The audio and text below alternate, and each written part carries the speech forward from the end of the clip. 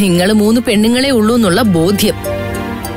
അതുകൊണ്ടാ പണ്ടില്ലാത്ത അക്രമവുമായി ഇപ്പൊ വരാൻ തയ്യാറായത്. അത് ശരിയാ ചേച്ചമ്മ ഇന്നലെ രാത്രി ഇവിടെ വന്ന് കുറെ പേര് ബഹളം ഉണ്ടാക്കിയെന്ന് പറഞ്ഞല്ലോ. അവരിൽ ഒരാളെ പോലും ഞാൻ മുമ്പ് കണ്ടിട്ടുള്ളതല്ല. ഞാൻ ചിട്ടിയിൽ ചേർത്തതുമല്ല. അവരിവിടെ വന്ന് എന്നെ ആക്രമിക്കാൻ തുനിയണമെങ്കിൽ ആരും അവരെ ഇളക്കി വിട്ടതാ. അതൊക്കെ ആ വിക്രമന്റെ പണി തന്നെയാവും. എങ്ങനെയെങ്കിലും നിങ്ങളെ നശിപ്പിക്കണം അവന്. ചേച്ചിയുടെ അയാൾക്ക് ദേഷ്യം കൂടുതലുണ്ടാവും. അന്ന് വീട്ടിൽ നിന്ന് ഇറക്കി വിട്ടപ്പോ ചേച്ചി അയാളോട് കയർത്ത് സംസാരിച്ചില്ലേ? അതും കഴിഞ്ഞ് ഇവിടെ വന്നപ്പോ ചേച്ചി കത്തി എടുക്കുകയും ചെയ്തു. അതിന്റെ എല്ലാം ചുരുക്ക് അയാൾക്കില്ലാണ്ടിരിക്കോ? എന്നെ ഭയപ്പെടുത്തിയ ഒരു മൂലയ്ക്കൊതുക്കിയ ലക്ഷ്യം നേടാനായിരിക്കും അവർ കരുതിയിരിക്കുന്നത്. ആ ധാരണയാ നീ മാറ്റിക്കൊടുക്കേണ്ടത്. പേടിച്ചൊതുങ്ങിയ നിന്നെ ചവിട്ടി അരയ്ക്കാൻ ആ വിക്രമനും കൂട്ടരും വീണ്ടും വീണ്ടും ശ്രമിക്കും. ഒരാളുടെയും സഹായവും സഹകരണവും ഇല്ലാതെ നിങ്ങൾ ഇവിടെ ഒറ്റയ്ക്ക് കഴിയുമ്പോ അവർക്കതിന് എളുപ്പാ. അതുകൊണ്ടാ ഞാൻ പറയുന്നത്. നീ എന്റെ കൂടെ പോര്. നിങ്ങൾക്കും കൂടി കഴിയാനുള്ള സൗകര്യം എന്റെ വീട്ടിലുണ്ട്.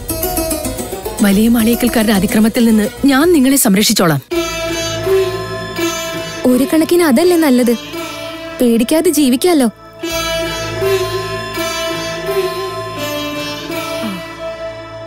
അത് വേണ്ട ചേച്ചമ്മേ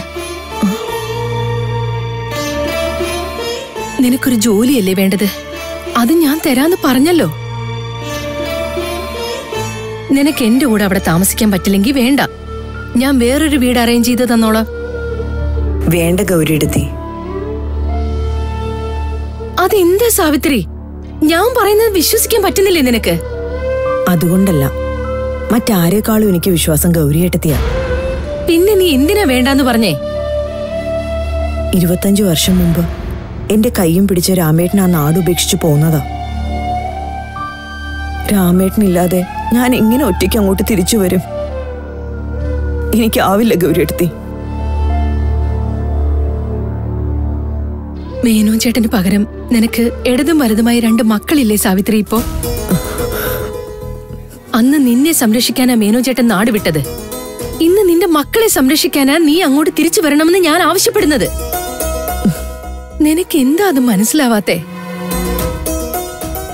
കൊല്ലാനും മടിക്കാത്ത ദുഷ്ടക്കൂട്ടങ്ങളാ ശത്രുതയുമായി തക്കം പാർത്തിരിക്കുന്നത്. അത് ഓർമ്മ വേണം. എന്നെ കൊന്ന അവരുടെ വൈരാഗ്യം തീരുമെങ്കിൽ കൊന്നോട്ടെ.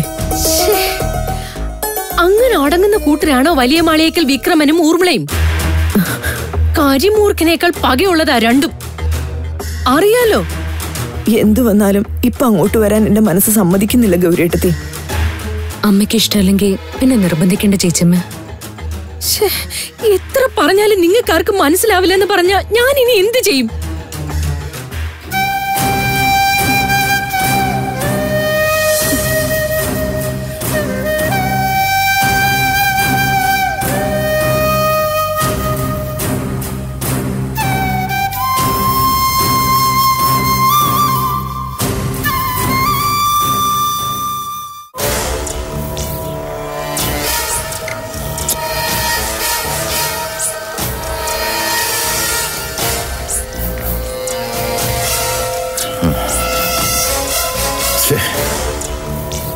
ഇത്തവണ ആ ഗൗരി നമ്മളെ തോൽപ്പിച്ചു കളഞ്ഞല്ലോടി ഊർമ്മളെ അതിലിത്ര അതിശയിക്കാൻ എന്തിരിക്കുന്നു? ഞാൻ പണ്ടേ പറഞ്ഞിട്ടുള്ളതല്ലേ? ബുദ്ധിയുടെ കാര്യത്തിൽ അവളെ വെല്ലാനാവില്ലെന്ന്. ആ കാര്യം അവൾ ഒന്നുകൂടി തെളിയിച്ചിരിക്കുന്നു.